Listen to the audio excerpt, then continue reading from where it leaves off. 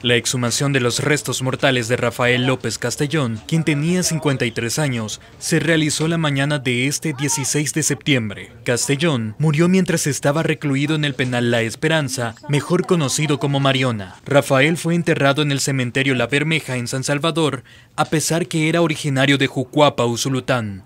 Todo esto sin que centros penales avisara previamente a la familia. López Castellón fue detenido en el marco del régimen de excepción en su vivienda del cantón Llano de la Cruz de la ciudad de Jucuapa en Usulután. Para la prensa Gabriel Guzmán.